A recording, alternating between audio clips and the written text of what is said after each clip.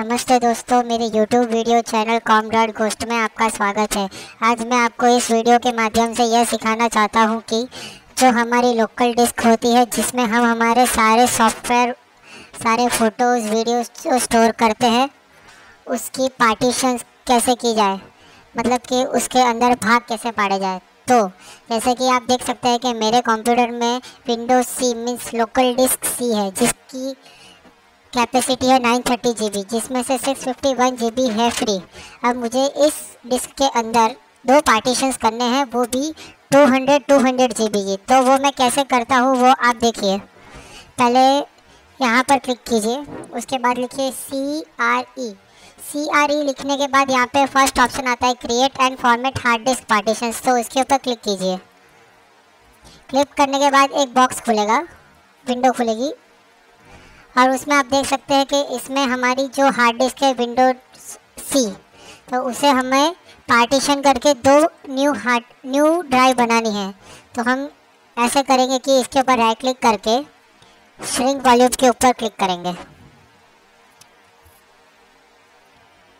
Click करने के बाद एक न्यू विंडो खुलेगी, जिसमें से हम देख सकते हैं कि इसका पार्टीशन कैसे किया जाए। Total size before shrink M जो है ये nine five two six zero six और हमें क्या करना है, इसमें टू हंड्रेड जी बी हमें नवी डिस्क बनानी है तो हम कैलकुलेशन इस तरीके से करेंगे।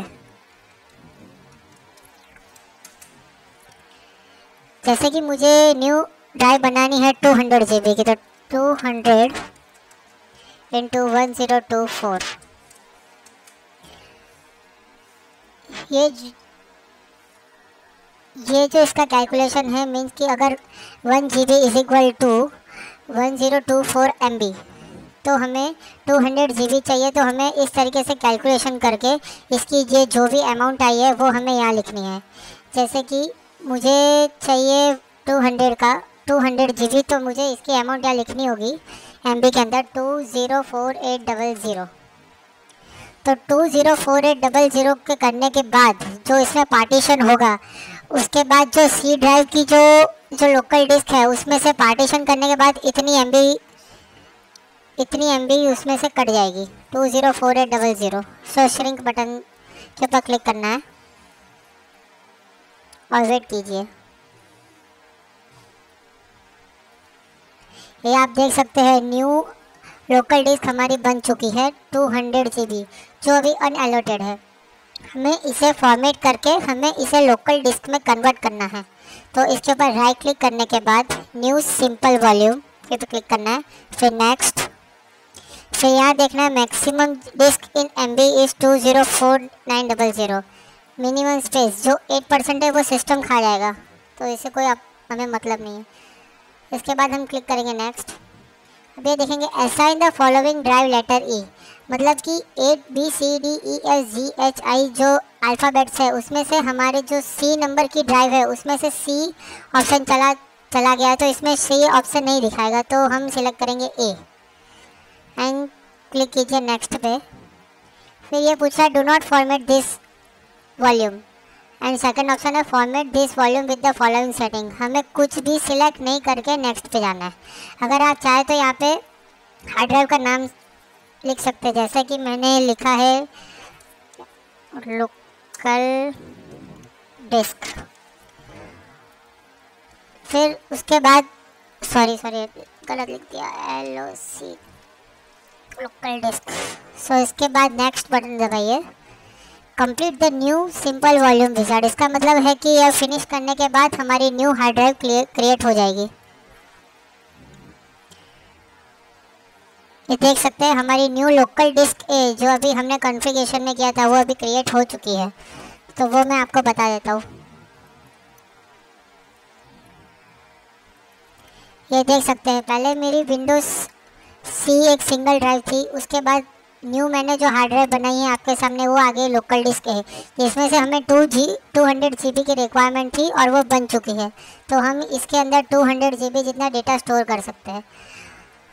अब आप देख सकते थे, पहले मेरी हार्ड डिस्क की जो स्पेस थी, वो थी नाइन थर्टी जी बी अब उसमें से टू हंड्रेड जी बी कम होके वो न्यू में बन गई है न्यू में बन चुकी है। तो अभी हमें और न्यू पार्टीशन करना है, जिसका हम नाम रखेंगे लोकल डिस्क बी तो वो मैं आपको फिर से बता देता हूँ।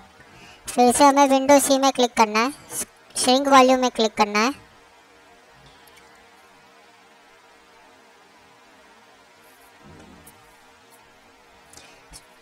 श्रिंक वॉल्यूम में क्लिक करने के बाद हमने जो पहले कैलकुलेशन का किया था, वही कैलकुलेशन रिपीट करना है।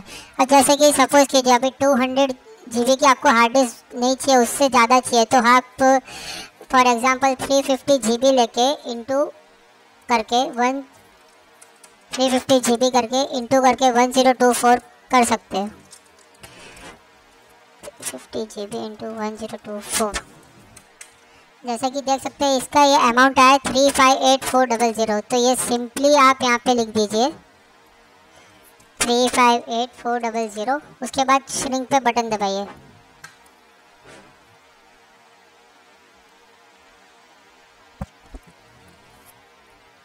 अब आप देख सकते हैं थ्री फिफ्टी जी बी की अलग से हार्ड ड्राइव बन चुकी है, जो भी अनअलॉटेड है। हमें इसे नाम देना है एक न्यू वॉल्यूम असाइन करनी है। तो इसके ऊपर राइट क्लिक करके न्यू सिंपल वॉल्यूम पे क्लिक कीजिए। फिर नेक्स्ट बटन दबाइए। उसके बाद वापस फिर से नेक्स्ट बटन दबाइए।